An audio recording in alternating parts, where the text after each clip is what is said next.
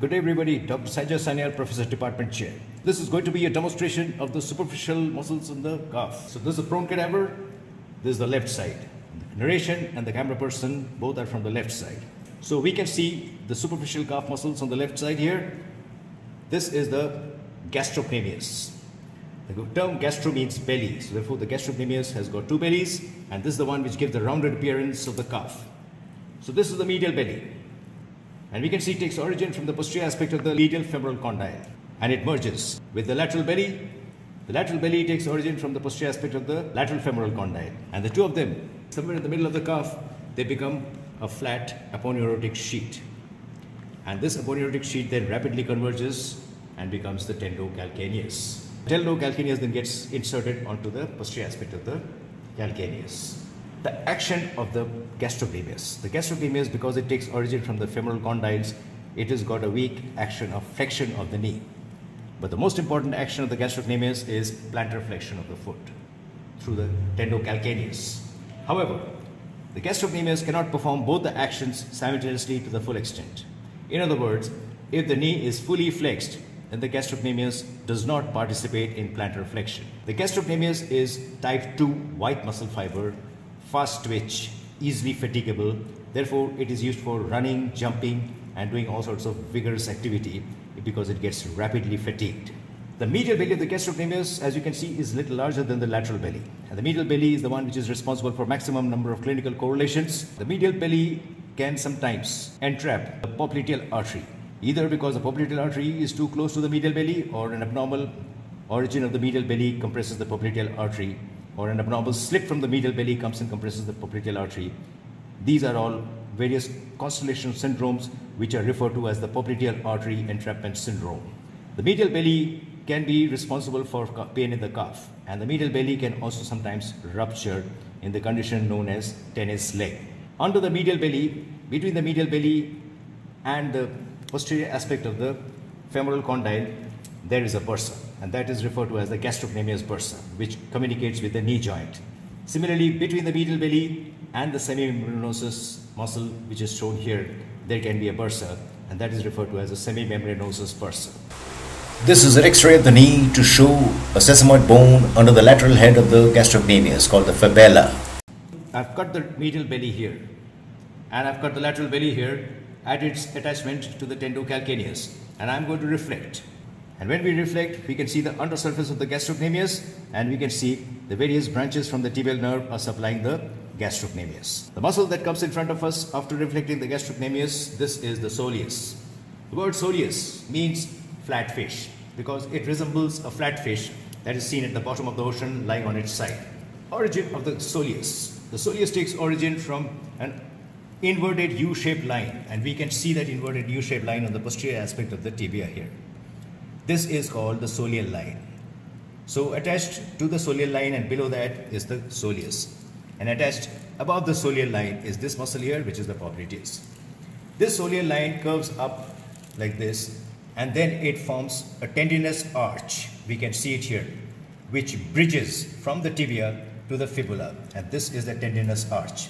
This is referred to as the tendinous arch of soleus. And then the attachment continues onto the posterior aspect of the fibula as we can see here and then it comes down on the posterior aspect of the fibula here like this. So therefore, the origin of the soleus is an inverted U shape. The insertion of the soleus is along with the gastrocnemius to the tendocalcaneus and we can see that very clearly here. From here, the tendon becomes rapidly tendinous and it becomes known as the tendocalcaneus, which I shall describe just now. The action of the soleus. The soleus is the most powerful plantar flexion through the tendocalcaneus. The soleus is type 1 red muscle fiber. It is slow twitch, it is not easily fatigable, and therefore it is used for strolling. So therefore we say we stroll with the soleus and we run and jump with the gastrocnemius. The soleus, unlike the gastrocnemius, is a one joint muscle because it does not cross the knee joint, it crosses only the ankle joint. Sometimes there can be an accessory fibers of the soleus and that can be responsible for a painful ankle condition in excessive use of the soleus. Now we can see yet one more muscle between the gastrocnemius and the soleus and this one here. We can see it's taking origin from above the origin of the gastrocnemius lateral belly. This is the muscle here and this is the lateral belly. So I have reflected it here to see this muscle. This is the plantaris muscle. The plantaris muscle rapidly becomes a thin, long tendon, narrow tendon, which moves from the lateral to the medial side between the gastrocnemius and the soleus, and it merges with the tendocalcaneus tendon. This plantaris tendon does not have much functional use. However, it is used for tendon grafting whenever it is required.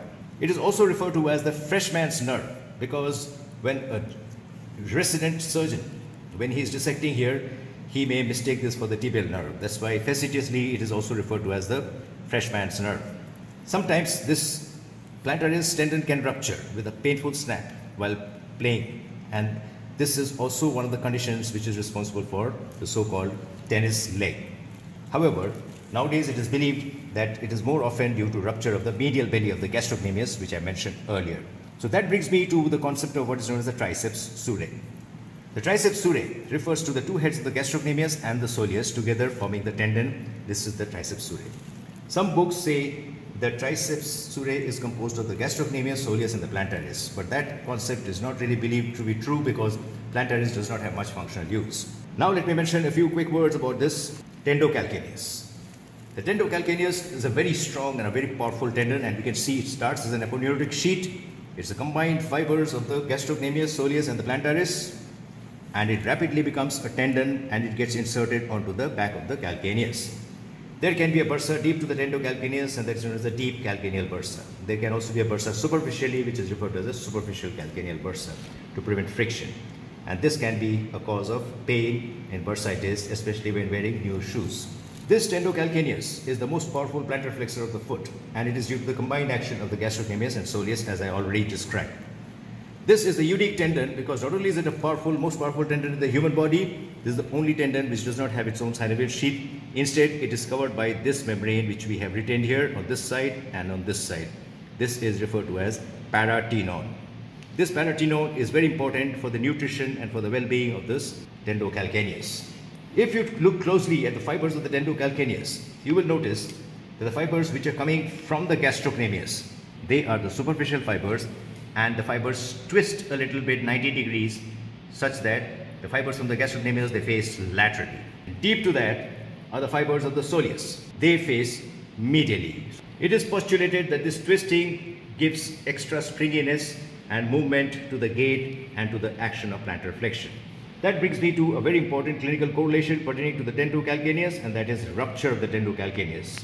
When the tendocalcaneus ruptures, it is as bad as cutting of the foot because the person cannot plantar flex the foot and therefore the person cannot walk. So therefore it is mandatory to repair the tendocalcaneus and we do it by means of a procedure which I have demonstrated here known as Z-plasty.